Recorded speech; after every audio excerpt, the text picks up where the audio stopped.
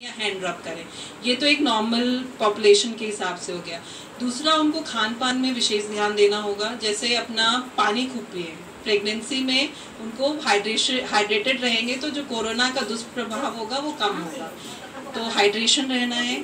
Fruits और vegetables ज़्यादा लेना है। हाई प्रोटीन डाइट होनी चाहिए उनकी और आयरन और कैल्शियम की मात्रा भी अच्छी होनी चाहिए।